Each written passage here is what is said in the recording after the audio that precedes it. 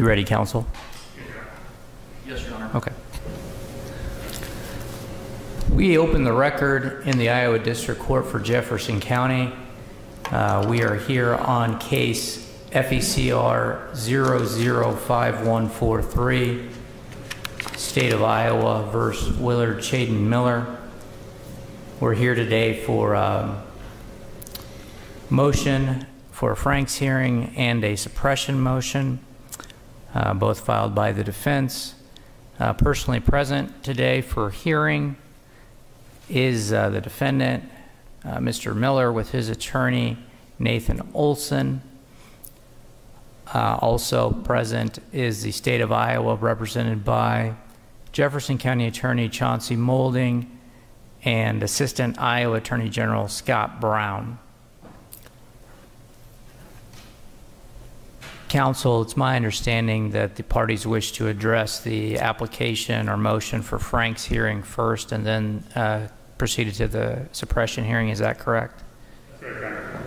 Yes, Your Honor. Okay, well, I'll turn it over to you then, Mr. Wilson. Thank you, Your Honor. Um, As a preliminary matter, as um, discussed in chambers, there are a number of exhibits that have been filed under seal with court permission that we would ask, or that we would offer at this time. Those are Exhibits A through V, as in Victor. Those were filed with the court in March of this year. Um, Additionally, um, as discussed, um, exhibits that will be filed under seal with court permission um, are exhibits triple H, triple I, and triple J, which are each transcripts of depositions. Triple K, which is an audio exhibit that will be filed with the clerk and provided to the court and to opposing counsel. Exhibit triple L and exhibits triple M and triple N, the last two being video exhibits again, which will be filed with the clerk under seal and provided to this court.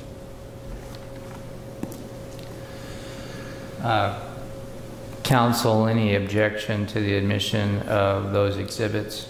No, Your Honor, the state would stipulate to the admission of those exhibits listed by defense counsel. Additionally, the state, um, in the event that they are not included within those um, defense exhibits, has what I have labeled as State's Exhibit 1, although I'm certainly willing to change that designation, um, a paper copy of four search warrants executed in this proceeding, um, as well as what I have listed as State's Exhibit 2, which is a thumb drive containing screenshots of Snapchat text messages provided to law enforcement uh, by Jay.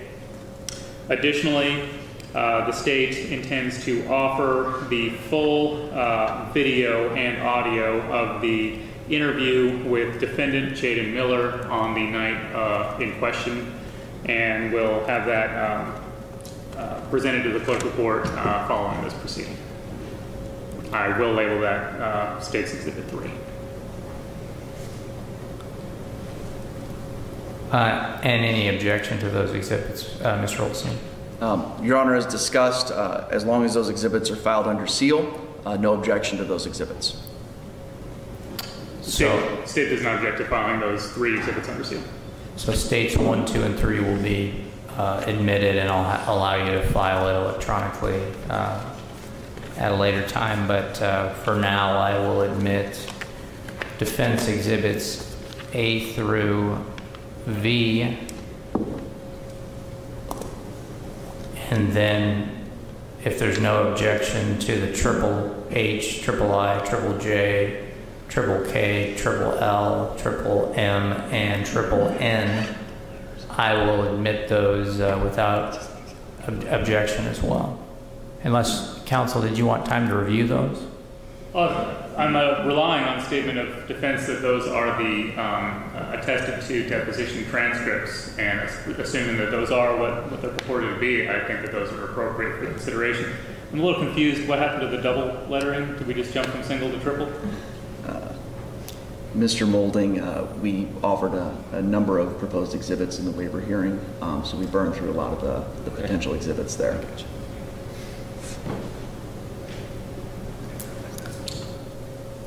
Okay, uh, Mr. Olson, you may go ahead and proceed uh, with the motion for Franks hearing, whatever you'd like to supplement your motion with that you filed already.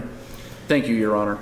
Um, Obviously, this court has the, the motion, uh, which has been filed under seal.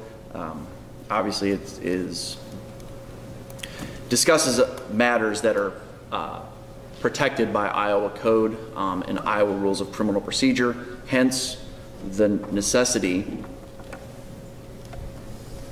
of those being filed under seal. I'm not going to discuss the specifics of the evidence. Um, I will generally point out that our motion is specific regarding the information we're saying that was known to law enforcement um, at the time the four search warrant applications were pre- presented to a judge. Information identified in that motion weighs heavily on a finding of probable cause that was omitted. And further, there are misstatements within that search warrant application, those four search warrant applications, that, and those misstatements identify my client as someone involved. The reason we filed this Franks motion is because law enforcement has to provide, under Iowa law, all information that they know or should know a issuing magistrate would want to know when deciding whether or not a search warrant application is supported by probable cause. Much information was not provided that should have been told. There were individuals providing information to law enforcement that the magistrate was never told about and was never allowed to determine whether or not that individual should be found credible as a source of information by law enforcement. As discussed, I will be much more specific in the filing following this hearing and talk through the specific exhibits and why those support the motion for the preliminary finding. It's our position that the exhibits provided to the court previously and that have been offered today show at least a reckless disregard on whether or not that information should have been provided or was mistakenly provided in that search warrant application. And as this court is well aware, the standard is either recklessly provided or a purposeful misstatement or omission.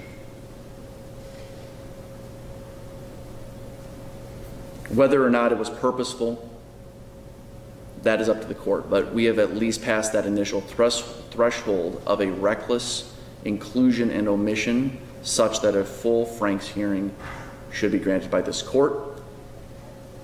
Thank you, Your Honor. Thank you, Mr. Olson. Mr. Mullen? Your Honor. Uh, First off, the state would stand by its written resistance the motion for a Franks hearing filed by the state on October 31st of this year. Um, The defense has not met its preliminary burden to establish um, a preliminary showing that any falsehood or false swearing or a reckless disregard for the truth took place in the deputy's swearing to the search warrants that resulted in the search of the defendant's home and person, the search of his cell phone and computer, the search of his uh, Snapchat records, and the warrant for the cell tower records. Specifically, and this affidavit is, it's short enough that, that it can be, I'm not going to read the whole thing here, however, uh, paragraph three of the relevant warrants is the principle uh, showing that I think that it is in controversy here. On November 3rd. Your Honor, I object. The the Well, I- state is, the state is attempting to read into the record information that has been sealed and has been identified as private. Your, Can, can you identify what you're looking at? Your Honor, I'm reading- Exhibit? Paragraph three of the affidavit in question that the defendant alleges is a false swearing by a law enforcement officer, I'm prepared to uh, present that, that document that is in question in controversy, and then point to the court uh, a number of points where uh, the allegation of essentially perjury by an officer, a very serious allegation, is completely disputed by the evidence. I, I just was curious if you could tell me, um, of the uh, exhibits that we've admitted, which one you're looking at? Uh, this would be, well, from the states, it states Exhibit 1. It is the sworn affidavit to search warrant.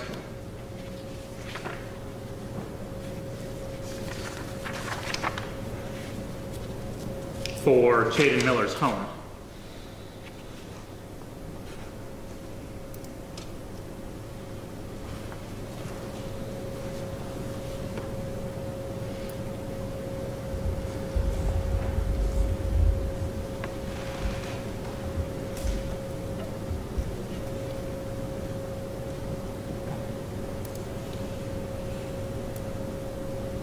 And do we think, uh, maybe uh, Mr. Olson knows uh, if that's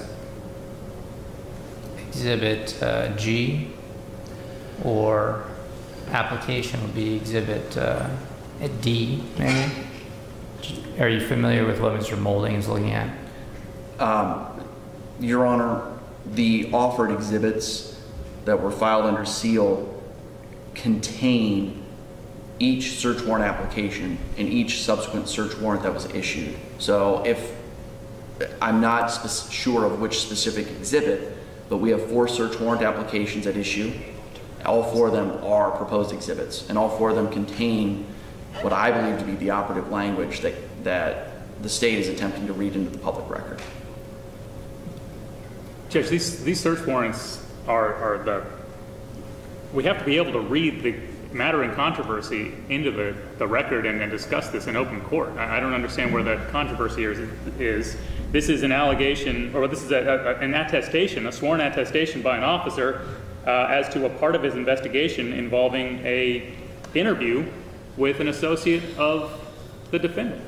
Uh, no, and the state can present uh, information about whether the um, information the officer provided was uh, reckless or purposeful. So if you can narrowly, I'll overrule Mr. Olson's objections if you can just keep that to, as a narrow focus.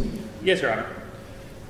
Um, on a attestation, uh, sworn affidavit on the 4th of November, 2021, the officer swore that on November 3rd, uh, an associate of the defendant showed that officer messages from Jeremy Goodale, co-defendant of the defendant, Snapchat, that state that Jeremy Goodale and Willard Miller were involved in planning, executing, disposing of evidence related to the death of Nohema Graber.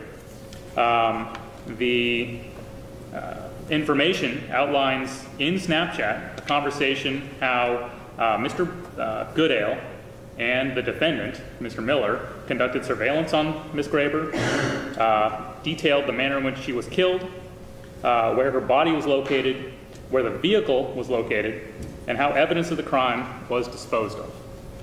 Um, this, is the, this is the principal paragraph that I believe um, the defense hangs its, its hat on in its allegation of false swearing by the uh, law enforcement officer.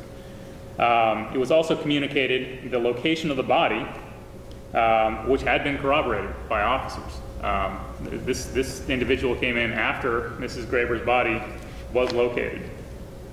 I would draw the court's attention to the audio of the interview with Juvenile J, conducted by Special Agent Kedley with the Iowa Division of Criminal Investigation, specifically to timestamp 2 minutes, 13 seconds, where uh, states specifically, quote, it wasn't just Jeremy, it was two people, to timestamp 4 minutes, where the Special Agent asks if uh, Jeremy did it by himself, and uh, the Juvenile J answers no.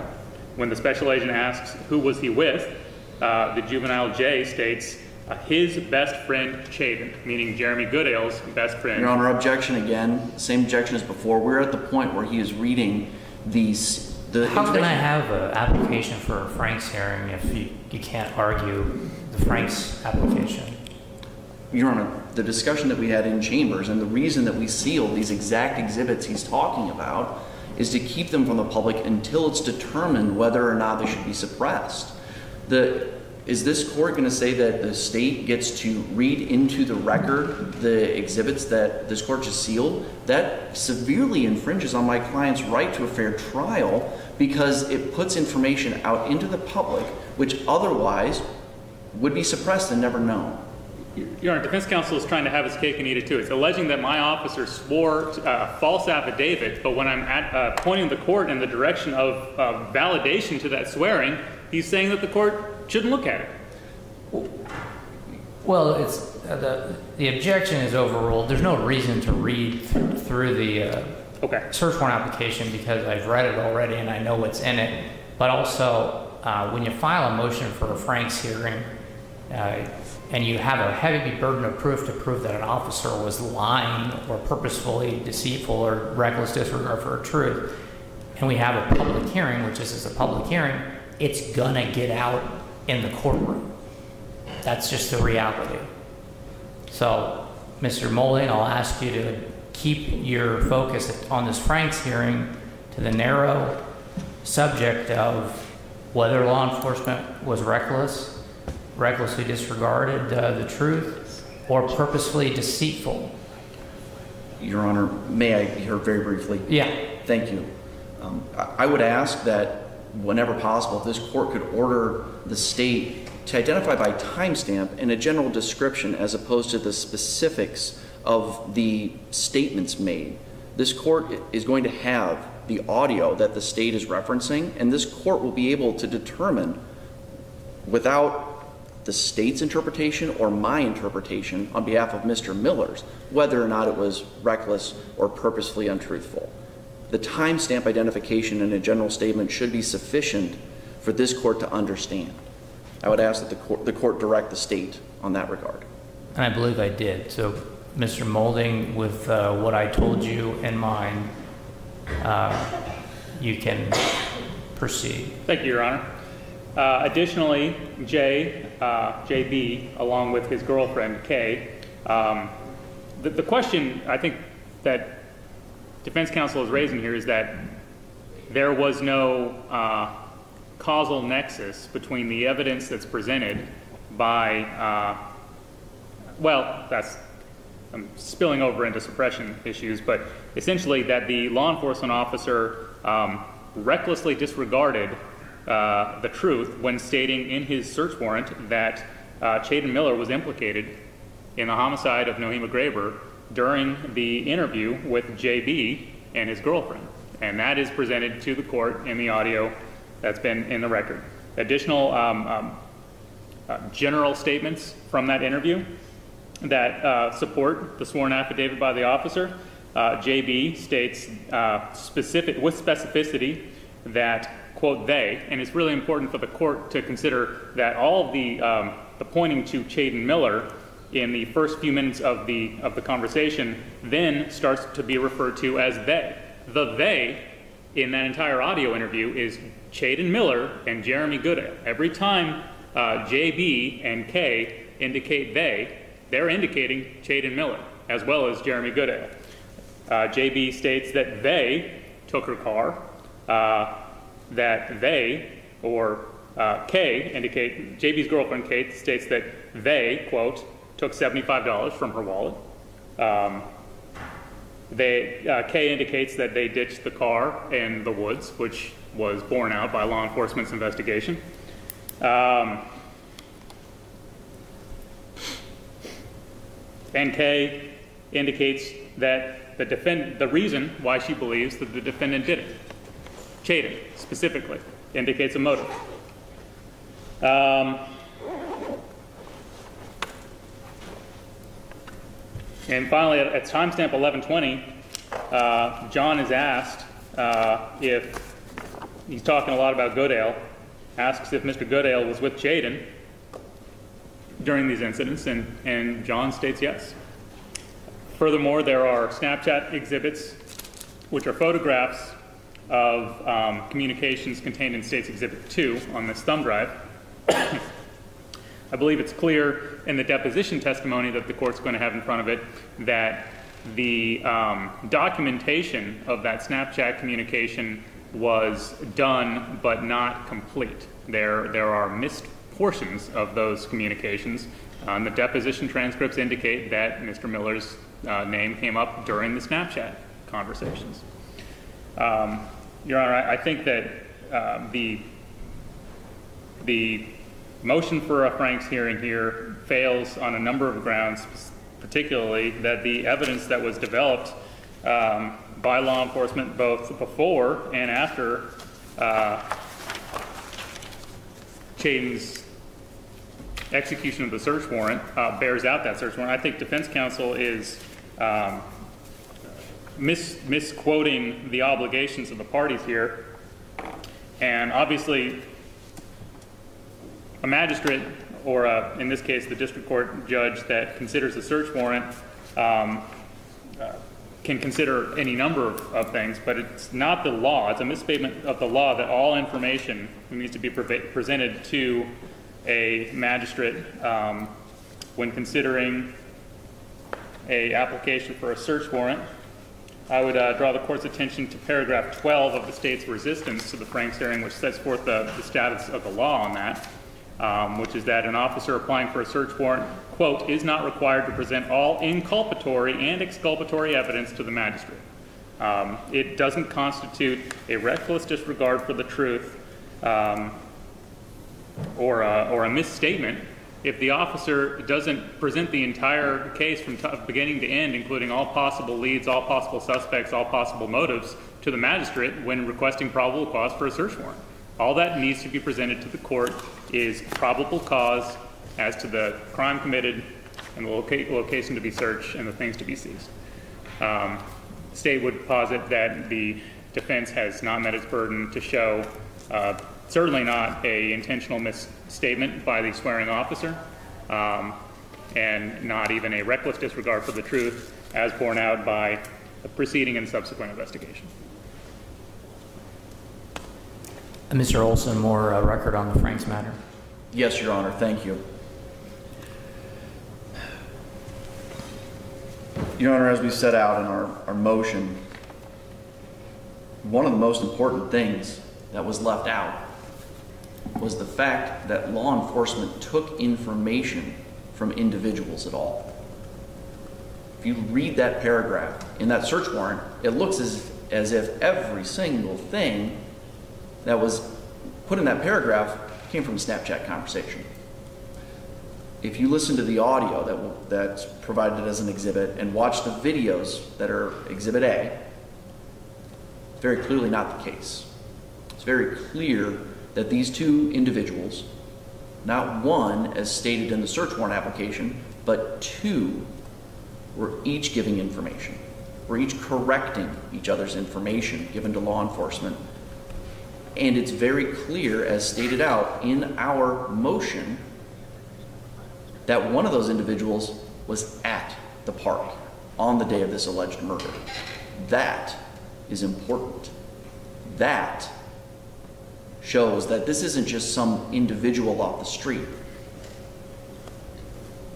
And I would ask this court to pay attention to what law enforcement says to that individual once that information is provided. And the timestamps for the video are provided in our applica- in our motion.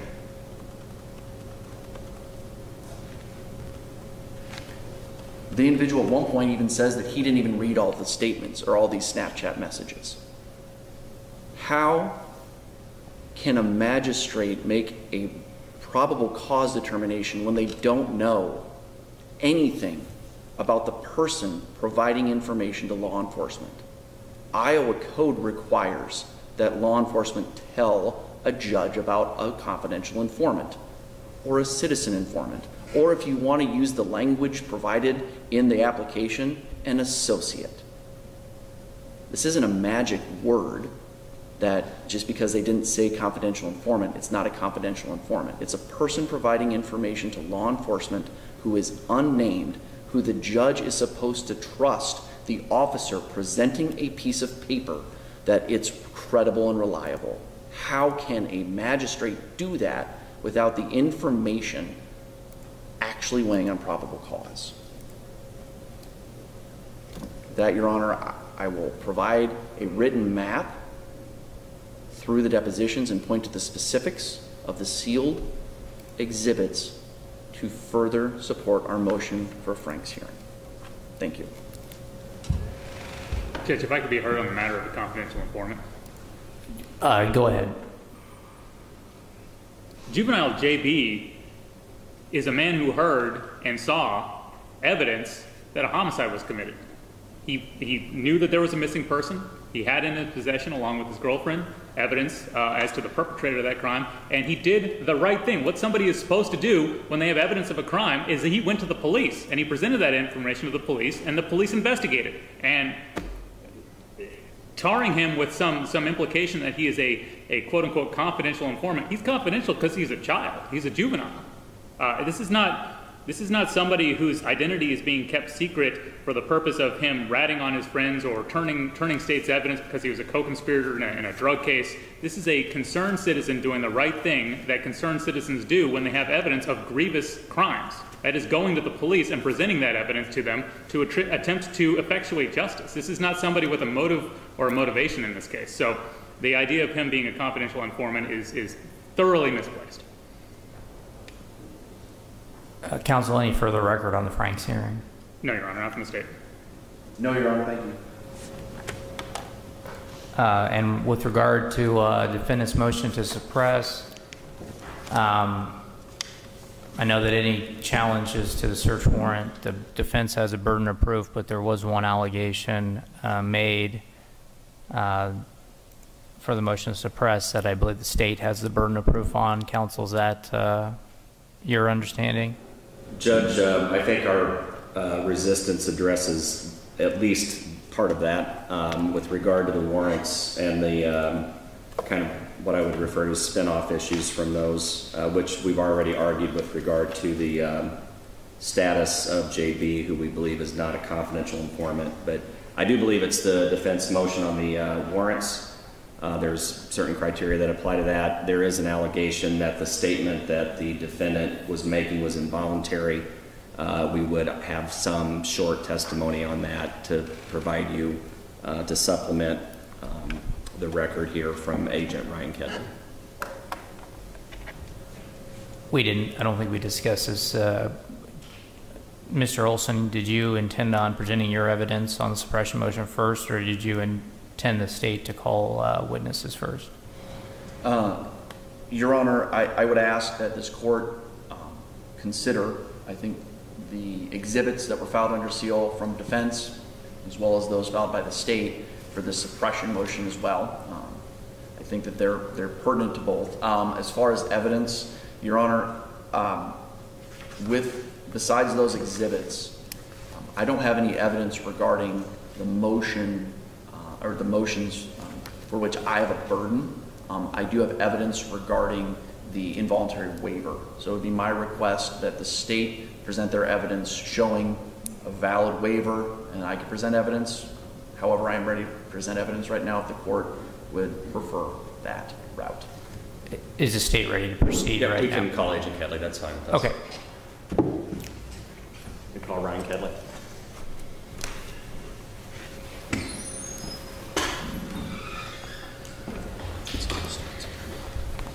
Do you promise or affirm to tell the truth, the whole truth, and nothing but the truth? I do. Please have a seat. Might have to change.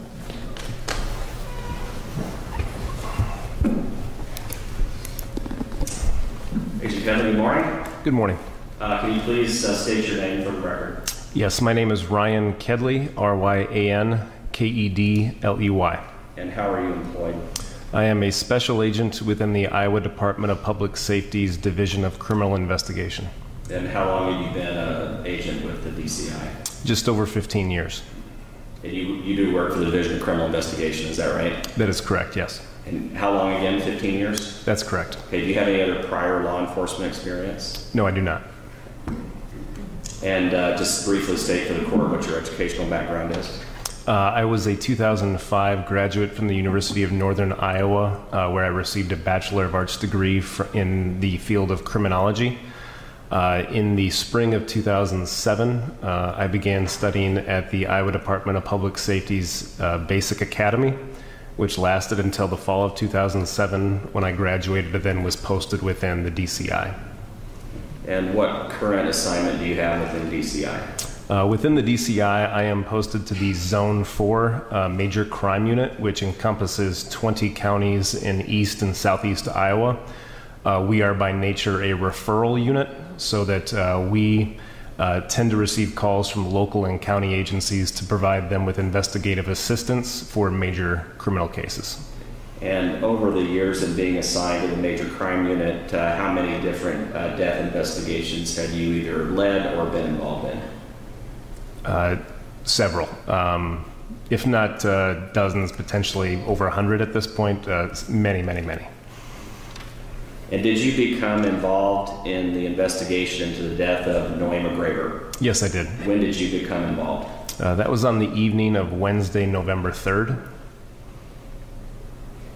And were you what is commonly referred to as the case agent in uh, this investigation? No, I was not. Who was that? Uh, that was Special Agent Trent Vileta, V I L E T A.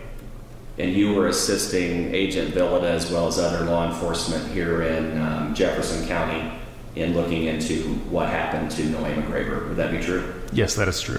Okay, as, just to cut to the chase here, um, as part of your investigation, did you interview the defendant, uh, Willard Chaiden Miller? I did, yes. And when did you interview him? Uh, I believe the interview began at 6:41 a.m. on Thursday, November 4th.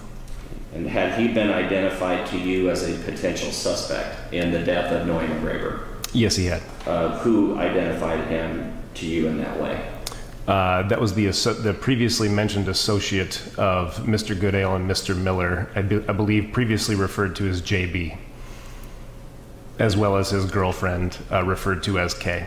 And I know the judge has an exhibit with regard to uh, the interview with JB, but were you the agent along with others that was interviewing both him and his girlfriend? Yes, one of two agents. Yes, So you had received this information directly from him. that is correct.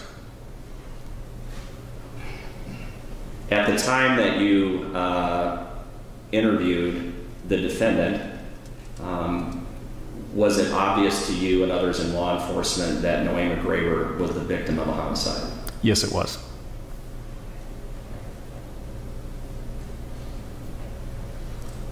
From what you had been told, uh, whoever the perpetrators were of that homicide, would it have been what you would refer to as a murder Absolutely.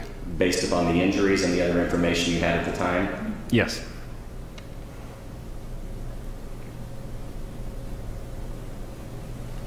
How was the defendant uh, contacted uh, just prior to your uh, interview of him? Uh, so my interview of the defendant was conducted at the Jefferson County Law Center uh, in Fairfield. Prior to that interview, a search warrant had been executed at his residence and for his person. Uh, at that time, I believe it was Agent uh, Richard Vale of the DCI, V A L E, and Trent Vileta, who had in person approached um, the defendant at his residence, and then the defendant was transported via a fully marked Fairfield Police Department unit to the Jefferson County Law Center. Um, I believe that Agents Vale and Vileta then spoke directly uh, with the defendant's mother about the purpose of uh, conducting a follow up interview with the defendant. Um, I then concurred with those two agents and then was asked by Agent Vileta to conduct an interview of the defendant there at the Law Center. And did the interview, the complete interview, take place at the law center? Yes, it did. And how long was it? Uh, just over two hours, I believe. Okay, and generally the times from the beginning to the end when you contacted the defendant? Um, when I first stepped into the room, I believe it was 6:41 a.m. At around 9 o'clock a.m., um, after taking a brief break, I had re-entered the room and basically indicated to the defendant that the interview was being concluded. The entirety of the interview and your contact with him is recorded, is that right? That is correct. Um, prior to uh, speaking with the defendant, did you read him any type of Miranda warning? Uh, Miranda warnings were read to the defendant by agent, but by Agent Vale. And you were advised of that? I was present for that. Yes. Okay, so you observed it. Yes, I did. And in fact, um, as Agent Vale uh, read through the actual Miranda form, um, he advised uh, the defendant to read along with, and I believe the defendant initialed next to certain items, then signed, and then I signed the same document as a witness to it. How would you describe the defendant's demeanor whenever he first came into contact with you? Um, remarkably relaxed. Um, given the circumstances that he was being woken up at his residence, uh, subject to a search warrant, and transported to um, a law enforcement location, and then speaking with two detectives from the state police, um, he was remarkably relaxed and spent the better part of the first 20 minutes discussing his issues that he had uh, with Miss Graber and. Your Honor. This is getting into, again, the substance of the specifics that are at issue in the, the suppression motion. Um, I, I understand that the state has to determine whether or not the waiver is voluntary, but I don't believe the specifics of Mr. Miller's statements outside of questions of validity of a waiver um, are relevant to this hearing. Further, they're subject to the order to seal that we have previously discussed.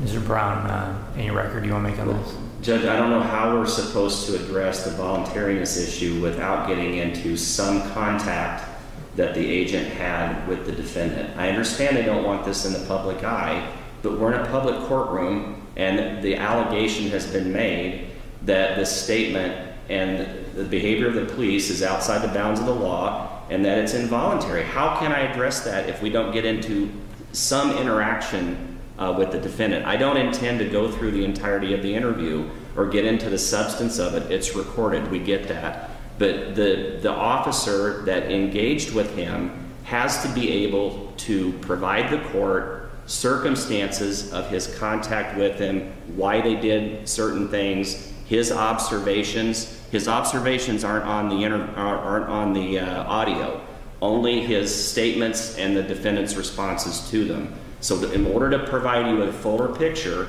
on this issue, we have to be given some leeway. Briefly, may I respond, Go ahead, Mr. Olson. Thank you, Your Honor.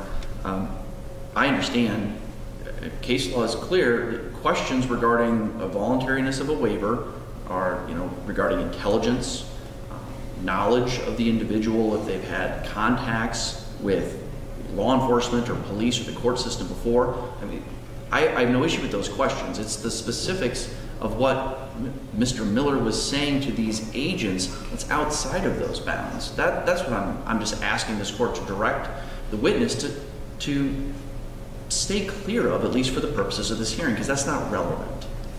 Well, I guess for this specific objection, um, for the answer that uh, Agent uh, Kedley was getting into, uh, I'll overrule it. I'll just, and I think everybody knows um, that the information we're looking for is whether or not the um, statements he gave were voluntary. So Mr. Kedley's observations about um, Mr. Miller being calm or maybe discussing different topics, those sort of issues are, in my opinion, certainly admissible and relevant. Uh, it's probably, it could probably get to a point where it was piling on with um, just bolstering or uh, unnecessary information, but I don't think we're at that point yet. So maybe Mr. Brown, it might be helpful for you to ask another question. Uh, go ahead. So, in these initial interactions with uh, the defendant, um, you described him as calm, is that right? Uh, remarkably relaxed, but yes, calm. So, tell us about the uh, circumstances of the interview. Where, where was it located specifically at the Law Center, and what was the setup of the room, if you can describe that for us? If memory serves, and the best re- um, representative of the setup of the room would be the uh, audio video recording of the interview itself. Uh, but this room was a, uh, a fairly small, I would say 8 by 10 uh, dimensional room. Uh, had a table, um, no fewer than three chairs. Um, uh, I was dressed in, in khaki cargo pants, boots, and a red pullover. Uh, my partner at that time, Agent Vale, was dressed in black shoes, black pants, and a charcoal pullover. Um, uh, door leading to the outside, which was approximately 15 feet from the public lobby area. And did you go into the interview um, with knowledge of other investigative facts that had been learned concerning the death of Nohema Graber? Yes, And had, do you believe that you were fully briefed as to the content of what that investigation would have been? yes, And have you had conversations with Agent Vileta, Agent Vale, and other officers, um, Kinsella and others that would have been working this case? yes, I did.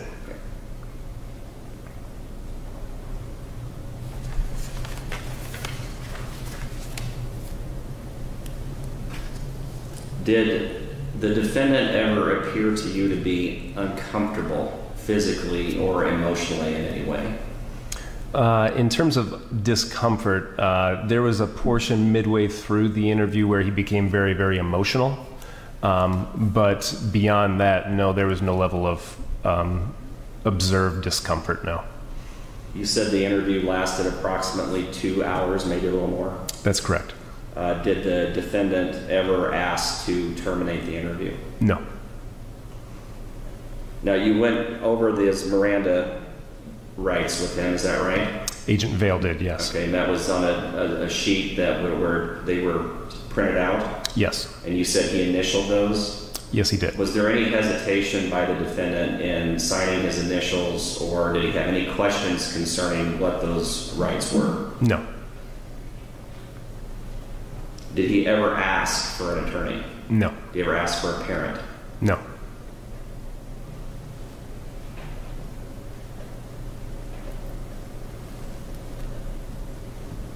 You've reviewed the um, audio recording of the interview, is that right?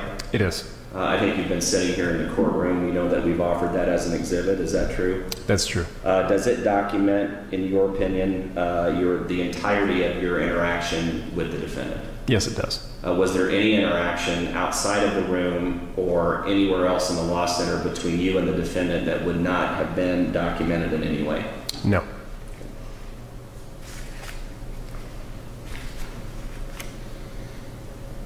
Agent Kedley, thank you very much. Thank you. I have no further questions, Your Honor. Mr. Olson? Thank you, Your Honor.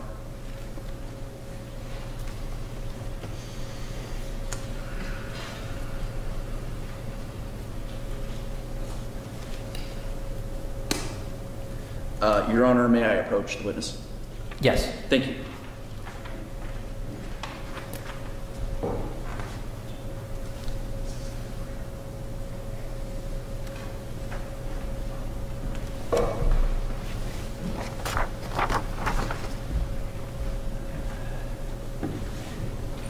Agent Kendall, uh, Kedley, uh, I've just handed you a document that uh, is a sealed exhibit labeled uh, for the record purposes as Exhibit Triple L.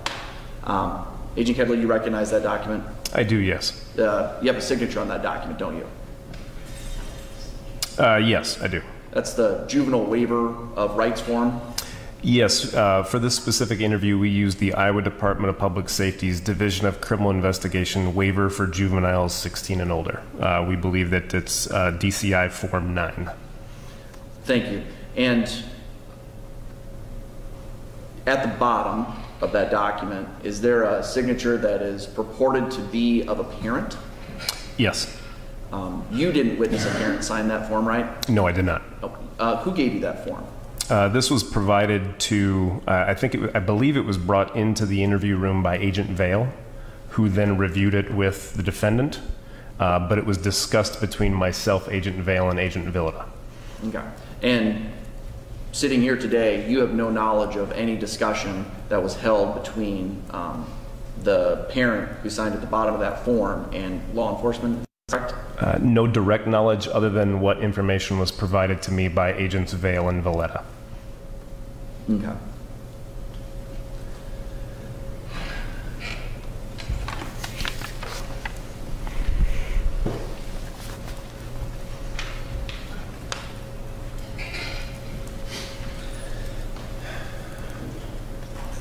Agent Kedley, training and when discussing or when speaking with the juvenile, obviously, you're trained to try to find their parents, right?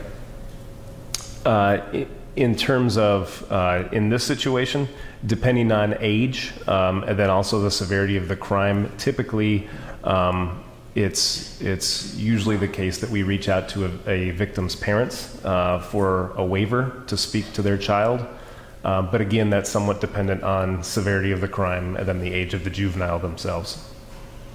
Let me ask a different way. You're familiar with Iowa code says in certain situations you have to reach out to a parent before you talk to a, a minor. Is that correct? That's correct, yes. And in some situations, when they're 16 or older, you have to make a good faith effort to speak with the parent as a law enforcement officer. You'd agree with that?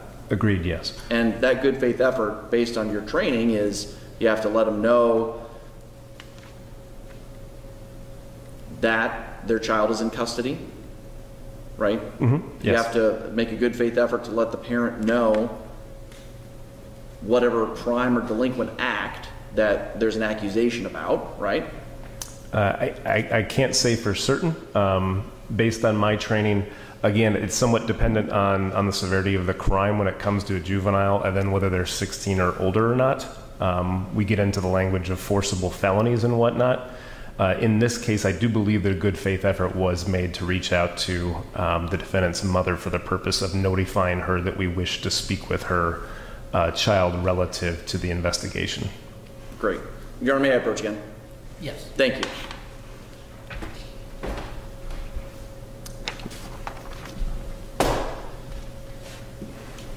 Agent Kedley, same sealed exhibit, triple L. In that form, it says the information about the delinquent act or that is charged or that the person's in custody for, right? Like that's on that form.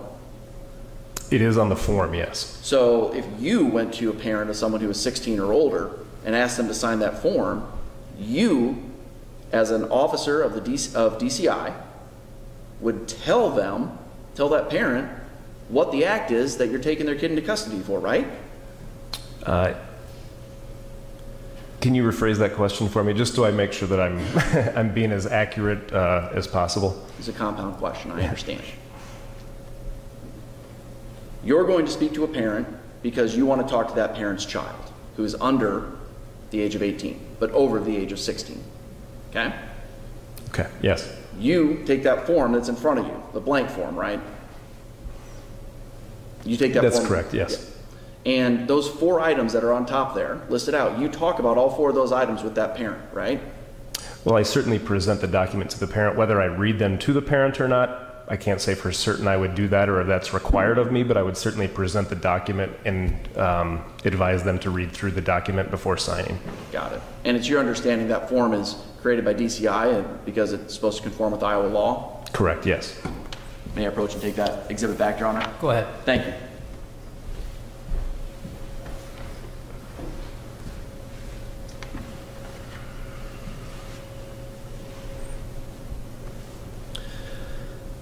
Agent Kedley, you were in the room the entire time that Miranda and that form was discussed with Mr. Miller, right? I was, yes. And you've reviewed audio and video, all those interactions are, are recorded, correct? That is correct, yes. Okay. And so anything from your recollection, if it's maybe a little bit different from on the video, you defer to the video, right? Absolutely. And have you reviewed the video? Is there anything that, regarding that Miranda discussion, that you don't recall or that you think is, is different from your recollection? Um, I reviewed the, the video at least once, not recently. I've reviewed the audio more recently. So, Again, this is my best recollection, but the audio video would be the best representation of what occurred inside that room.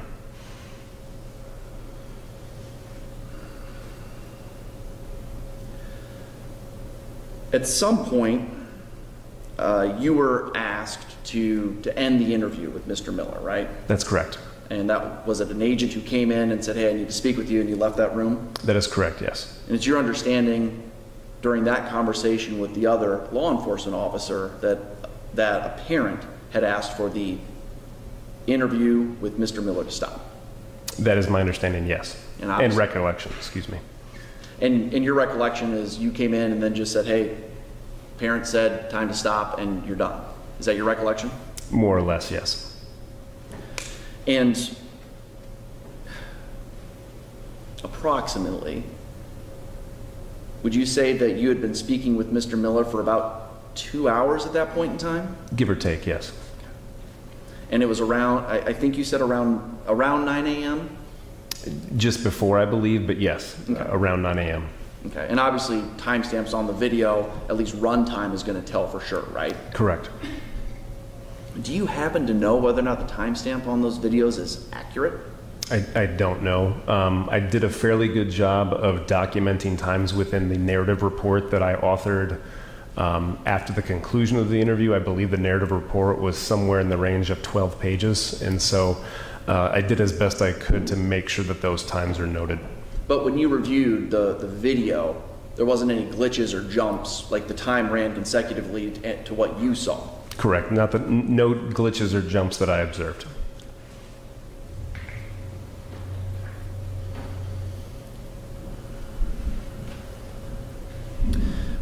When search warrants were authored in this case,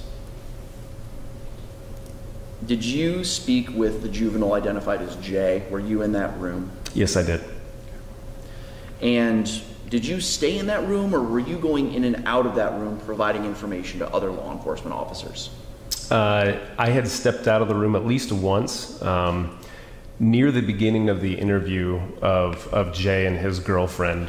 Just, we can just talk about wh- whether you were in and out. I was in and out at different times, yes. Thank you.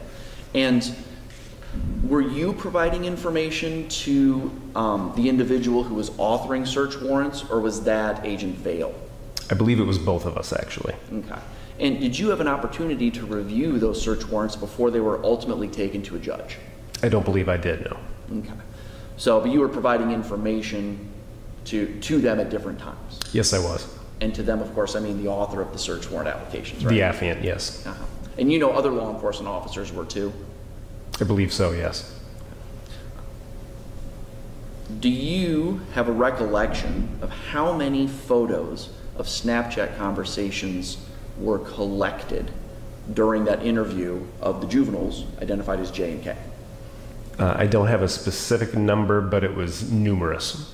Are you talking 5, 20? I'd say somewhere in the range of somewhere between 8 and 15, give or take. Okay. And again, that interaction was audio recorded and at least partially video recorded? I believe so, yes.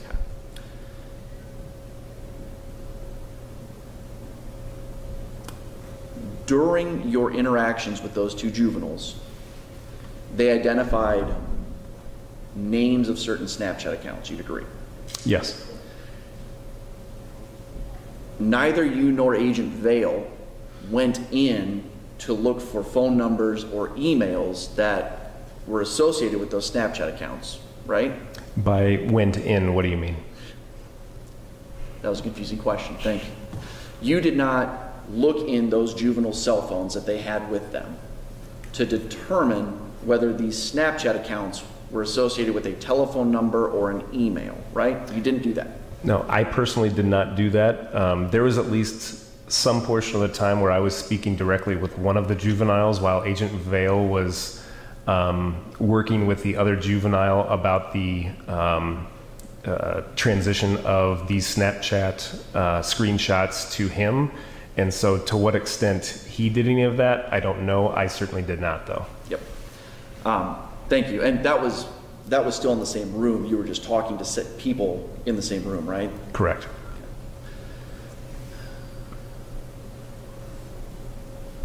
And did you have, well, okay. we talked about the audio recording of that, of that interview, and that's a complete recording of your interactions with those two juveniles, right?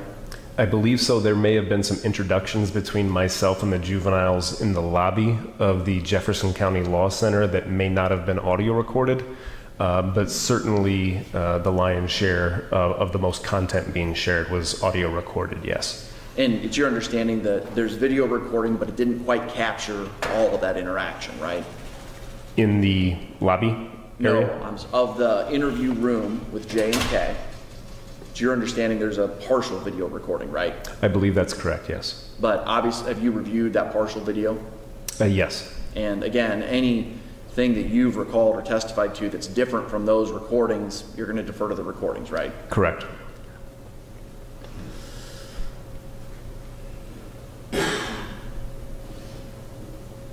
To your knowledge, both sitting here today and at the time that you interviewed Mr. Miller, he had no prior interactions with law enforcement, right? Uh, not that I'm aware of, no. And that's the sort of thing that, as a DCI agent, you'd look up when you're interviewing someone? Uh, ideally, you would, but not in every instance, because every instance is, is certainly different with the circumstances. Um, in this chance, I, I did not have a chance to do a uh, quote unquote deep dive of Mr. Miller's history. Um, but I believe I had um, spoken briefly with local law enforcement into whether they had had any previous dealings with him, to which they indicated they had not.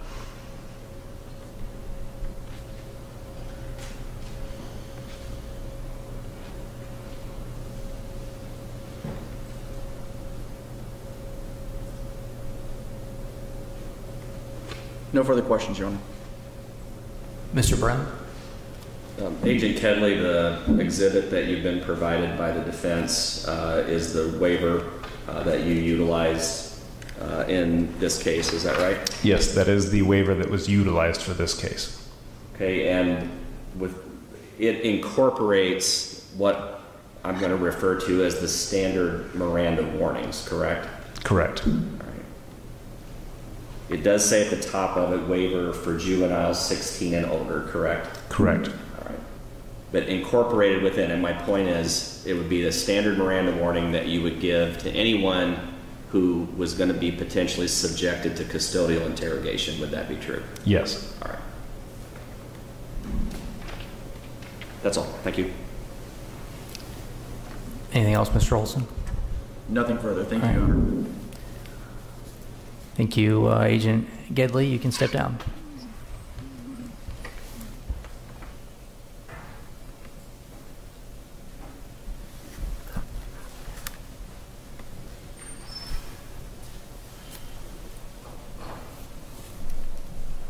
Does the state have any more witnesses? No, no, no further witnesses. And um, just to confirm, Mr. Olson, were you planning on calling any witnesses? Yes, Your Honor. Um, If that is the case, um, would the parties be opposed to a break, brief recess? That's fine with us. Okay, let's take a 10-minute break. Okay.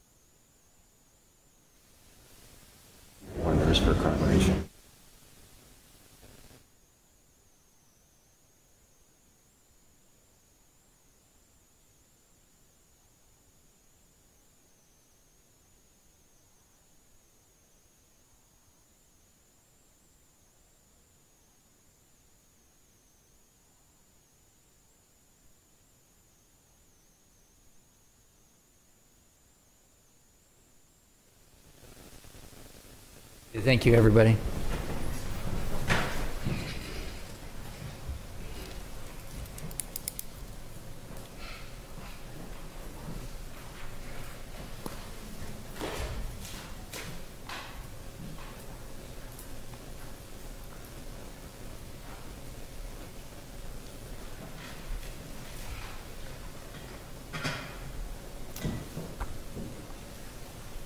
Okay, we are back on the record in the Iowa District Court for Jefferson County, State of Iowa versus Willard Chaiden Miller. Uh, Mr. Olson, um, you may call your witness. Thank you, Your Honor. Um, I call Annalisa Clifford Gold. If I may, for the record.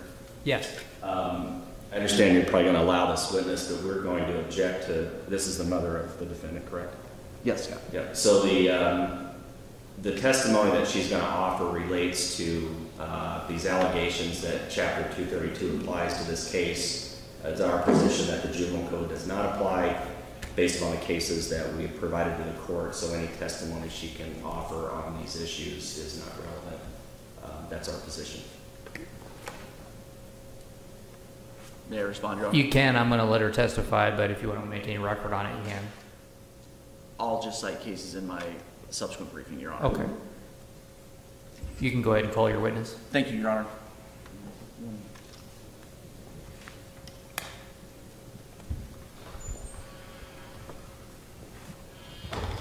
Please raise your right hand. Do you promise or affirm to tell the truth, the whole truth, and nothing but the truth? I do. Please have a seat.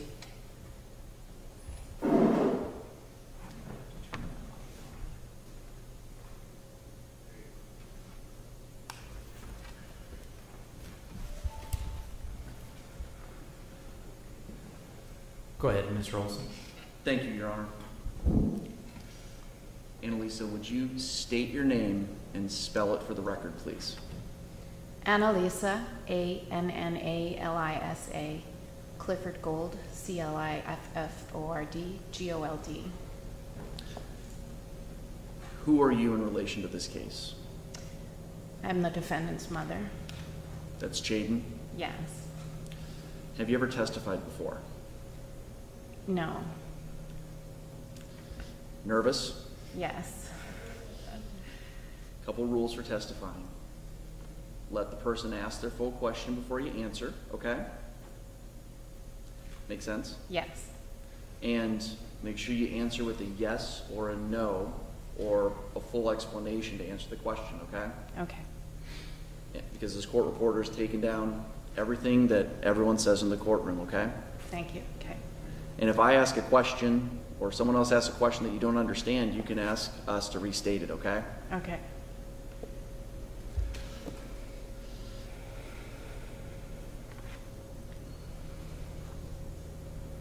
Annalisa, have you ever interacted with law enforcement? You ever been accused of a crime or a traffic ticket or anything like that before? Traffic ticket. No crimes? No crimes. Does this Chaiden have any criminal history? No. He he got in trouble for not wearing a seatbelt in the back seat once. That was it. They didn't take him into a police station and interrogate him for that? No. Your Honor, may I approach the witness? Yes.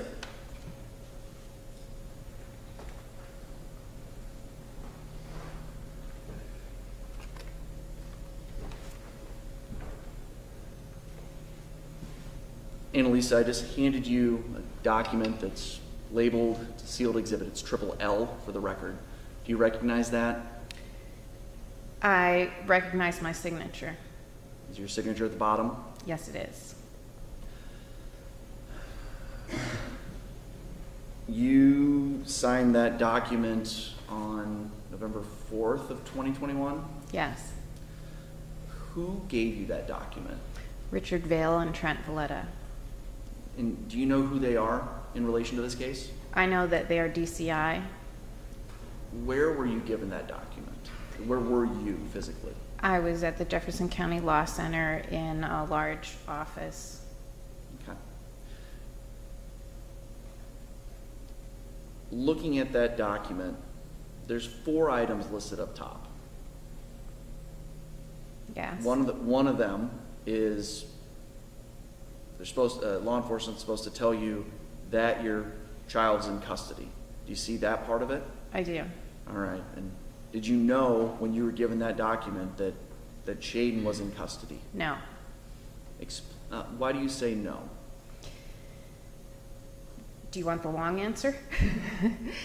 um, what I was told is that all of the students and parents of Nohema Graber were being rounded up to try and figure out what had happened, why she had disappeared.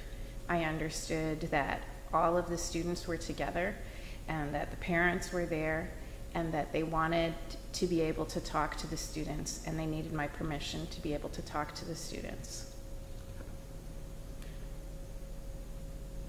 So you didn't understand that Chaiden was in custody, being held at the point in time when you signed that? No, I thought he was in a room with other students. Let's talk about that second item, the, the delinquent act or, or crime accused. Yes. Did anyone tell you that Nohema Graber had been found dead when you signed that document? No, I knew that she was still missing. Okay. I, Did you ask anyone about whether or not she had been found? yes, um, in the morning at 5:30, when Trent Vileta was in my home, I asked. He indicated that they were trying to resolve what had happened, and I asked him, had she been found? Was she okay? And he said, "We will explain everything at the police station." Did they explain anything to you at the police station before you signed that document? Not before I signed it. Okay. And that, that uh, discussion with Agent Vileta, that was in, in your home? Correct. And Chaiden was still in your home at that time? Correct.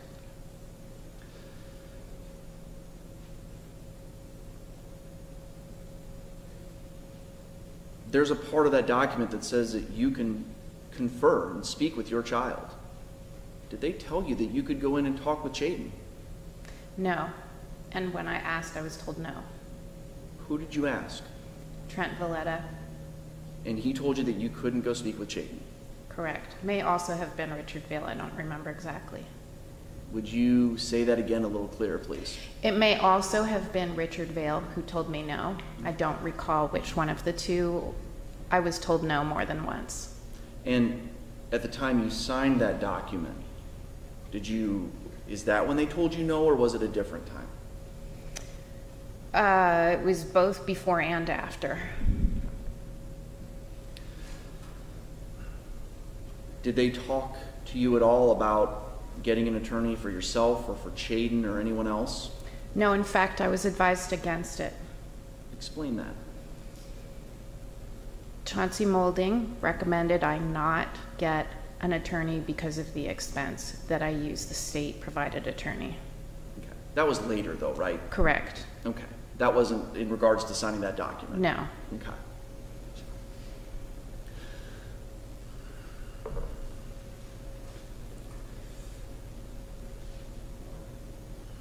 Talk to me, well, explain to the court. You wear corrective lenses? I do. Okay. That document you're looking at, you can read that? I can read it with my glasses on, yes. Okay. Explain to the court eyesight and what you could read and couldn't read on the morning in question, November 4th last year. So, in the morning, with all the police officers in my home, I was flustered when we were leaving, could not find my correct glasses, found an old pair that I can drive with but I can't read with. When I was given this document, I couldn't read it, and Richard Vale explained to me it just was to allow them to talk to Chaiden, and the and every parent was being asked to sign it um, so that they could talk to all of the students, and they needed a parent's permission to be able to talk to the students. And he drew a line on the bottom and made an X, pushed it in front of me, and asked me to sign it. And that was Agent Vale who did that? Correct. And I just want to make sure I understand. He said he just needed you to sign that so he could talk to the students? To Chaiden, yes. And he didn't talk to you about any of that information up top? No.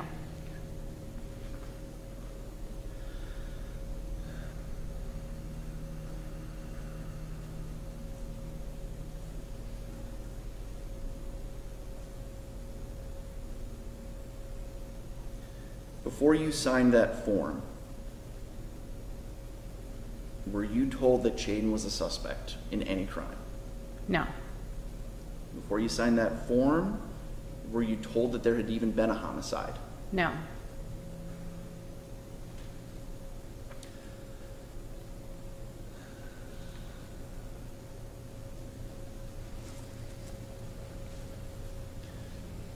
Would you have granted permission for law enforcement to speak with Chaiden if you knew there had been a homicide? Not without a lawyer present. Would you have granted permission for law enforcement to speak with Chaiden if you knew he was a suspect? No, not without a lawyer present.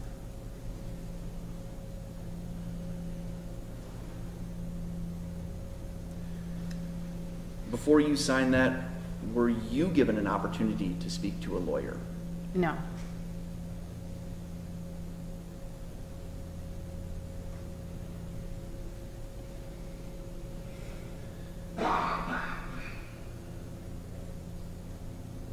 While you were at the Fairfield Police Department, you called for some advice, right? Yes. And that was after you had signed that form. Yes. Can you tell the court if you know or recall what time you spoke with someone for advice? It was at 7:15 a.m. based on my phone log. And is that a phone log for your cell phone? Correct. Who did you speak with? My friend who's a former police detective, Amy Jaffe. Does she live in a different state? She lives in Oregon. So at approximately 7:13 in the morning, is that what you said? Yes. What happened after that conversation with Miss Jaffe? During the conversation, I had her on speakerphone. She clarified her credentials to Trent Vileta, and the two of them spoke. Trent filled her in, and she said, You need to shut down the interrogation now. And I looked at Trent Vileta and I said, Yes, now. And Trent said, Confirmed, you want me to shut down the interrogation? I said, Yes. He got up, he left the room. He returned a few minutes later. I was still on the phone with Amy. Amy. He confirmed that he had shut down the interrogation. And that was at 7:13 in the morning? Correct. And did that happen at the beginning of that conversation or? or- Yes, within the first few minutes. Did you learn anything later on about how long the interview with Chaiden went? It went on for hours. Would you say long after you told him to stop it? Yes, long after. Do you know if Chaiden had his phone in that interview? Do you know either way? I, he did not. And uh, what I found out later is that it was taken from him while he was still at my home. Okay. So you didn't have any way to communicate with Chaiden No, other than through law enforcement? correct, And you were denied access to Chaiden by law enforcement? correct, And you told them to stop the interview, but they didn't? correct. How old's Chaiden? At that time, he was 16, Okay. just.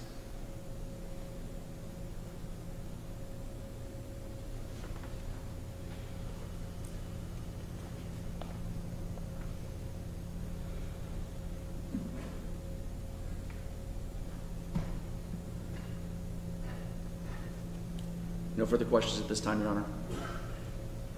Mr. Brown?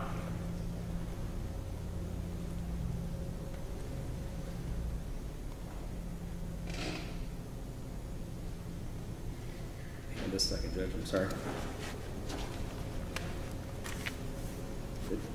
Do you have a, is it a hyphenated last name, is that right? Technically, no, Okay. So your last name is, two words, okay.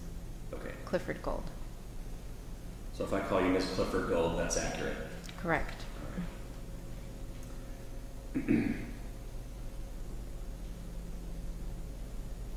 Um, Ms. Clifford Gold, did you uh, go to the law center with the defendant? I did not. How was it that you were notified that he was at the law center? When all of the officers and the DCI folks were in my home, I was given the option of riding with Chaiden or coming on my own. I requested that they get Chaiden's father. My intention was that I would go with Chaiden um, and that his father would follow. I asked Trent Vileta specifically, does it make a difference if I go with him or on my own? He said, no, it makes no difference. So I said, all right, since I had yet to see Chaiden's father, I traveled separately and followed them to the um, police station. So just to kind of flesh out the circumstances a bit more, um, officers came to your home on what day? Was that November the 4th? Correct. Um, did they knock on the door? Yes. All right. And were you asleep at the time? Yes. It was about 5:30 in the morning. Is that right? Yes. Uh, were you and your husband uh, both home? No, I'm divorced. I'm, I'm sorry. I apologize. So it was you and who else in the home? Only Chaiden. Okay. Uh, and you're divorced from Chaiden's father? Correct. All right. And where was he living at the time? Around the corner. Okay. So very near where you and Chaiden live, correct? Yes. Right. Did you notify him when officers um, came to your house at 5:30 in the morning? No, I asked them to go and notify them, him. Okay. Did they do that? I believe so. Um, was there any show of force by the officers uh, while they were at your house? No. Were they pleasant with you as far as you can describe? Yes. And then they did go and get um, the defendant's father. Yes. Did he come to your residence? No. Did he meet you at the police station? Or at the law center, I should say? He went to the law center separately. They never allowed him in to meet with me. Okay. Well, I'm talking about Jay, uh, the defendant's father. I am too. Okay, so he went to the law center or he did not? He went to the law center. I had already been admitted to the office with Trent Vileta and with Richard Vale. And he sat in the waiting room waiting to be admitted to come and be with me. And he was not allowed in. Okay.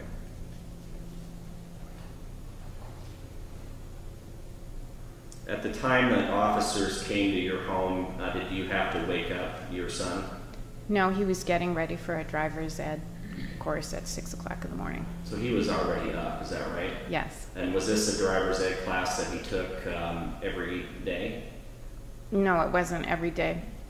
It was how many days a week would he take the driver's ed class? Uh, it, it was an irregular sketch, schedule because it was just based on availability to practice driving.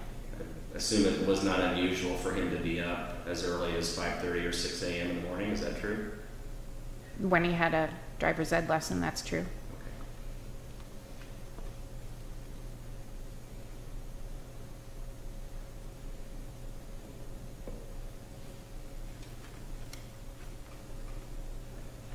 Um, you, the form that you've been shown uh, here, the Miranda form uh, that you did sign, correct? Correct. That was signed at your home, is that right?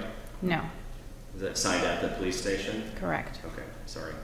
And uh, you had the different glasses on, is that the way I understood? Mm-hmm. Is that a yes? Yes, that's right. Did, did you tell the officers that you had any difficulty reading the form? I did. Okay, and did they read it to you? No, they just paraphrased that it was to allow them to speak with the students. Okay. That's the only explanation they provided you? Correct. And uh, once you were at the law center, um, you know that uh, the defendant, your son, was charged with the murder of Nohema Graber, correct? Uh, at 4:15, I was told that. 4:15 PM? PM.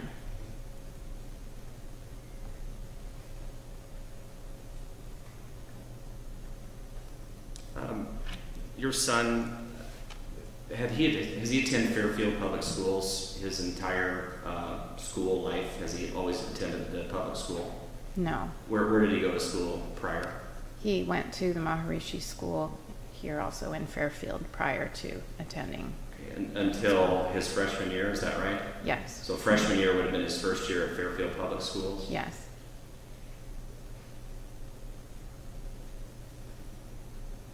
And um, what year was he at, in high school whenever, um, this, when the Nohema Graber was killed?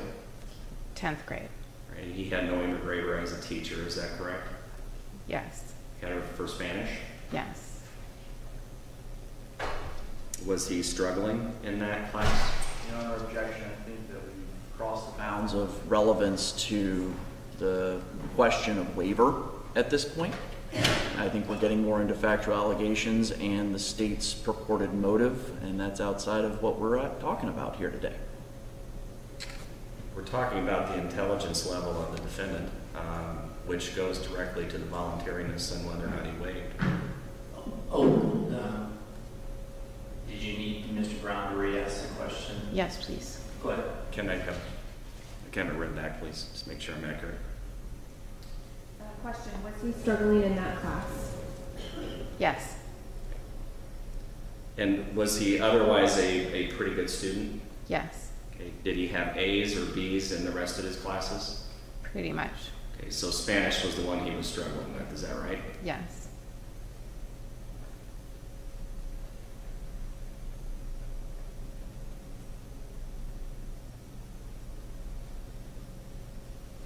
And I assume he had plans uh, beyond high school, even though he was a sophomore, was he planning on going to college? Yes, And, and do you believe as his parent, he would have had sufficient uh, academic background to at least get admitted into college? sure, yes. All right, that's all I have. Oh, wait, hang on a second.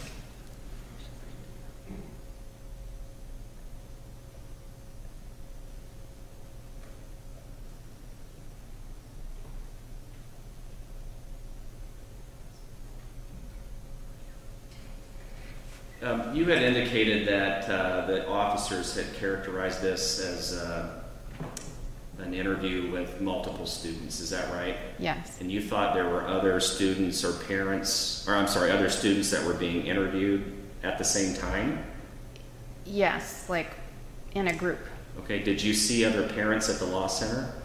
No, and I wondered about that. Okay. All right, that's all. Thank you. Mr. Olson? Just a couple, Your Honor, thank you. Annalisa, that form we're talking about, was that presented to you right when you got to the law enforcement center? No. Uh, maybe a half an hour or some, I don't quite recall, but it wasn't immediate. Okay. Yeah. But all they told you was so- that was so they could talk to him? Correct. Didn't talk at all about the rights listed in that top part? No. And is it your understanding that Chaiden was not allowed to leave once he got to that police station? Not at all. And is that because any agent or officer told you that?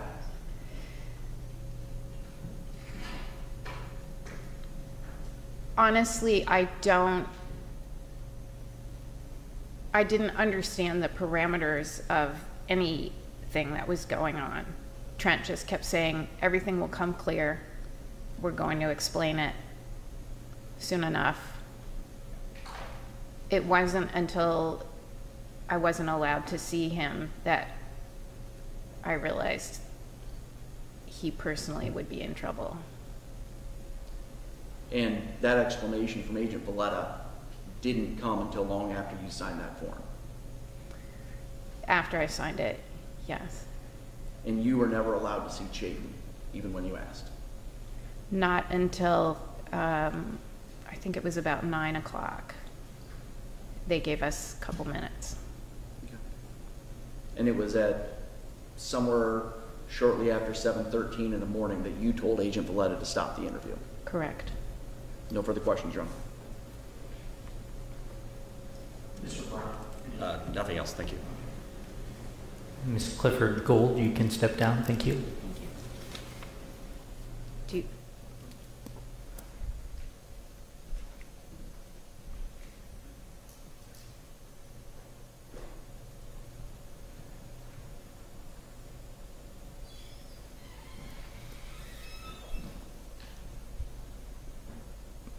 Any other witnesses, Mr. Olson?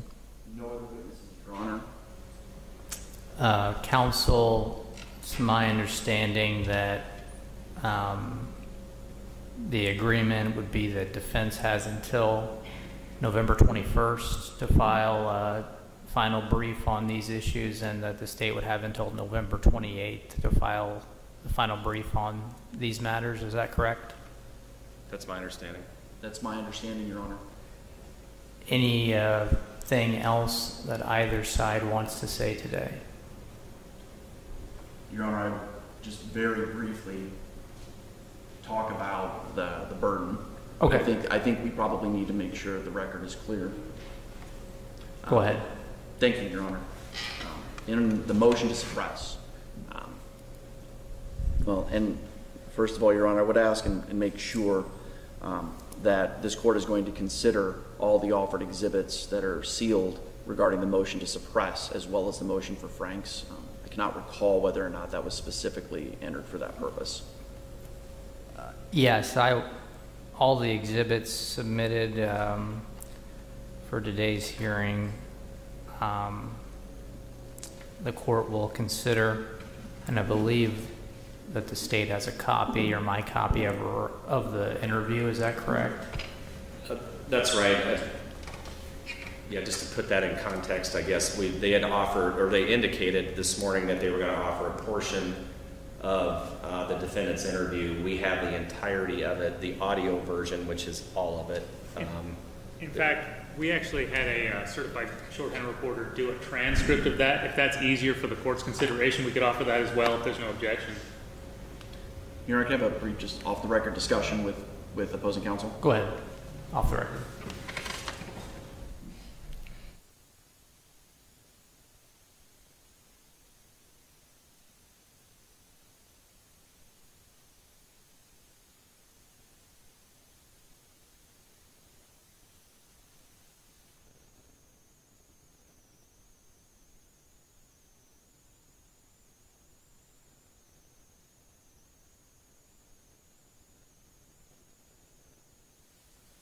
Thank you, Your Honor. Um, Based on discussions with the state, uh, they have a, it's an audio of the entire interview and a certified transcript. I don't have an objection to either one of those being offered under, as long as it's under seal. Just so we're clear, audio video, you have the audio video, we'll give you the transcript. Uh, Okay, so transcripts can be marked as State's Exhibit 4? Yes, sir. Okay, so I'll admit State's Exhibit 4, um, and uh, all the exhibits submitted today were uh, filed under seal, so that will include States 1 through 4. Go ahead, Mr. Olson. Thank you, Your Honor. Um, As we discussed in chambers, um, it's the state's burden um, to show that it was a knowing and voluntary waiver of the right to remain silent and the right to an attorney um, by Chaiden. Uh, This court has heard testimony on that, uh, but it is the state's burden to show that it was knowing and voluntary. Um, And Regarding the evidence, I believe that shows that it was not knowing or voluntary, and of course, I will provide further argument and citation in, in the brief that will be submitted. Regarding the other three arguments on suppression, um, there were warrants involved, therefore those are Mr. Miller's burden to, to invalidate that warrant. As provided in briefing, those warrants contain both conclusory statements not supported by fact and also fail to indicate credibility of individuals relied on by law enforcement. They don't sufficiently describe why a cell phone and a computer should be seized. They don't have a nexus to those.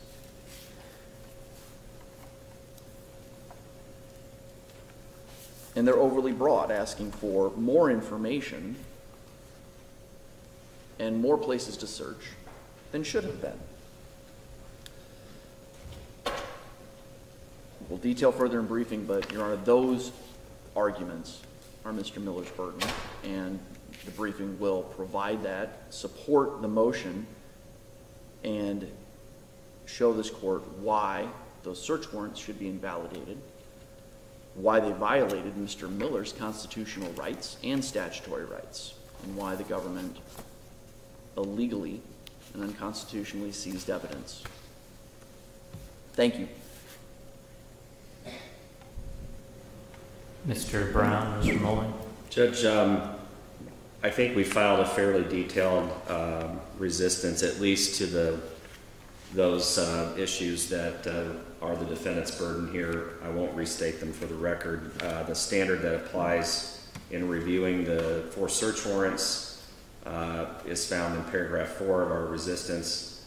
Um, we don't believe that the uh, warrants should be invalidated as the defendant has put them or has put it, we believe there is a probable cause and a nexus uh, between the things to be searched and things to be seized, uh, as is required by law, as well as it addresses the um, issue of uh, JB being in a confidential informant as alleged by the defense.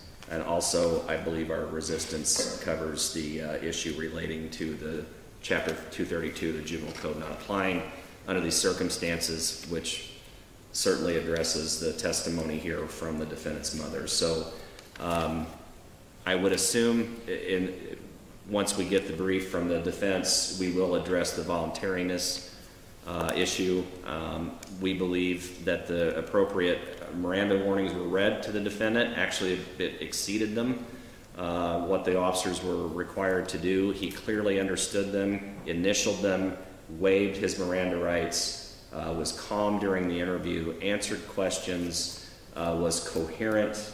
Uh, it will be obvious from the audio that all of those things are supported. Um, uh, Agent Kedley's testimony is supported by that. So the, the, the Miranda warning is uh, voluntarily waived by the defendant. Whether or not his mother wanted to talk to him, whether or not she tried to get in the room or told the officers to terminate it, makes no difference in this circumstance because of the nature of the offenses that are being investigated by the police. That's the state's position. Um, he is treated as an adult. That's the way it works uh, in, in Iowa when it comes to that particular issue. So, for those reasons, we'll uh, submit in writing uh, in more detail uh, that would support uh, those arguments uh, that we believe the motion should be overruled. Okay. Go ahead, Mr. Olson. No response to that. Um, just one final request, Your Honor. Okay. Um, I'd ask the court to um, allow the specific um, filing regarding our Franks preliminary hearing to be filed under seal since it will discuss the specifics of those sealed um, exhibits that the court now has. I would ask permission that we file that under seal and ask that any response from the state also be filed under seal, so the specific information is not in the public until such time that it may or may not be used at trial.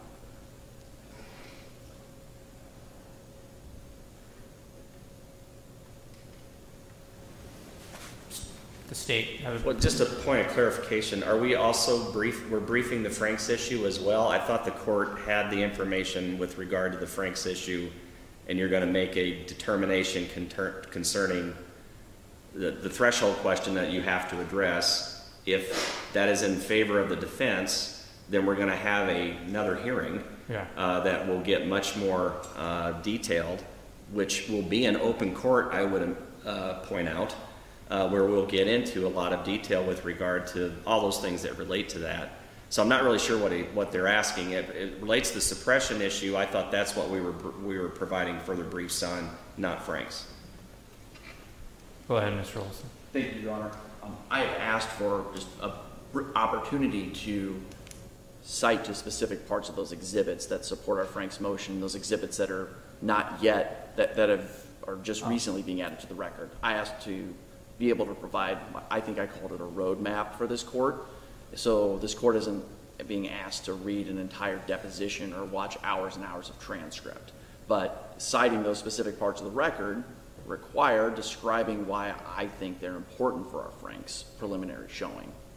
That's what I, that's what I'm asking to be put under seal, not a, not a full briefing, Okay. just cite, just specific discussion of the facts. So the suppression will be what is briefed. The Franks, uh, you'll uh, provide information to the court to what to focus on. Is that what you're requesting? Yes, Your Honor. Any objection from the state? Is there- Is there a difference between those two things? Yes. So I'll grant your request, Thank you, Your Honor. And we'll have till the 21st, you'll have till the 21st, and the state will have till the 28th for briefing on the suppression motion. Anything else for the record, counsel? I believe so, Your Honor. Not from the state, no. No, Your Honor. Okay. We'll close the record.